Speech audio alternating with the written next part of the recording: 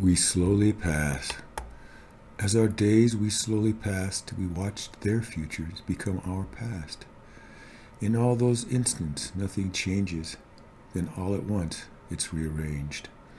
Born as children, not like those with that white hair, yet slowly we assume their shady chairs. As three generations pass while we grow tall, at last we become the next to fall. The minutes pass at first so slowly, summer never seems to come. Then the years fly by so quickly, as life flees even before it's done. Through all our moments, we string together a tiny blurred fraction we try and call forever. So slowly do our days we gather. It takes quite a while till nothing matters. Cast with fossil bones or glimpsed as insects trapped in amber, brief sideways glances we now scarcely remember. Our lives and history seem to be so everlasting, in brief insights revealed by merest instants flashing. Long awaited events stored in half remembered jumbles, life so short, but memories only incoherent mumbles.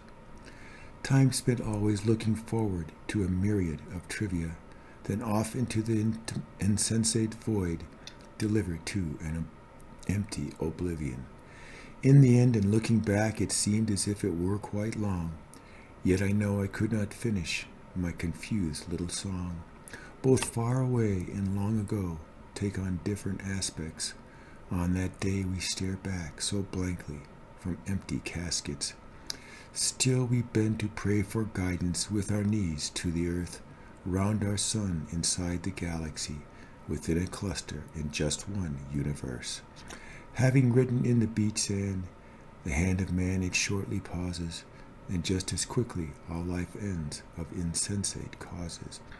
Just as all things we thought important so surely disappeared, their monuments and their memories shall no longer be revered. In the eternal mountains we lay our dead to rest in peace forever though science tells us the peaks will not resist the weather. We work away the many years with vague promises to ponder later. Then comes the day that quickly ends our short stay here.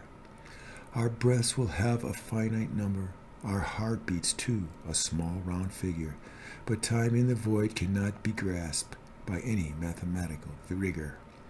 Long the sunset, fine the twilight in that wondrous warm June summer but at last full darkness must induce a perpetual and dreamless slumber.